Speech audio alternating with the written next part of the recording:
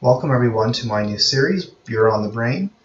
This is hopefully going to be a regular feature on my channel where we'll look at parts of the brewing process, the science behind it, and these videos will always be completed in 5 minutes or less. So I hope you join me for this new video series, hopefully with episodes every couple of weeks.